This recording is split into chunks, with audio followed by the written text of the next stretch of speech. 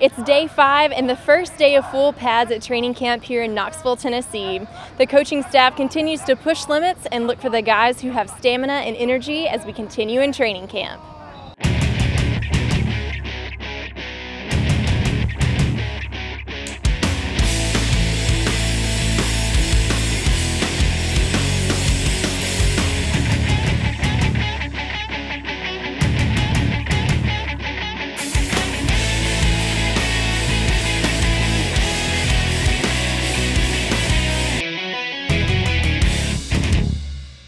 Know, we're not there yet. The first day at pads, you don't, you know, to expect that. Um, I think guys are hungry. We just got to fine tune some techniques and things like that. Defensive coordinator John Jancek says the first day in pads brings out game-like situations. However, he is still looking for progress you definitely want to see always see physicality, but really when you when the pads go on, you know they become a little bit more nervous.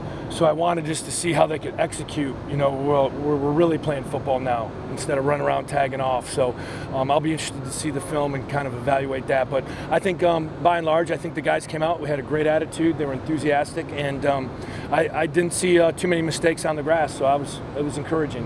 A fan of sudden change, offensive coordinator Mike Bajakian enjoys having practice at night. Night practices are, are, are, there's always a little more energy. Uh, being under the lights, they've, they've been off their feet all day. It's a, it's a change of scenery to a certain extent. So uh, that's why I think there was a high, it was a pretty high intensity practice. There was a lot of intensity, a lot of passion.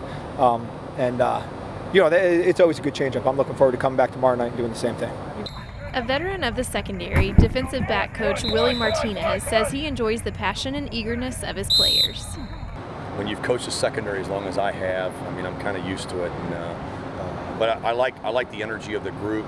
Um, I like the guys. They come to work, and uh, it's fun. It's fun because they, they want to be coached, and uh, and they want to do well. So that's that's the fun part.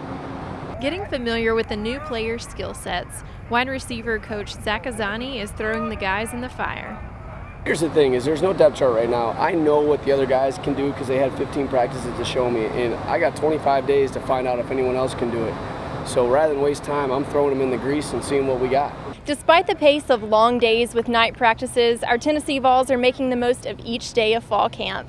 In just 25 days, they will kick off the season against Austin Peay, so stay right here for more information and the latest details on the Tennessee Vols. For Vol Report, I'm Sarah Mitchell.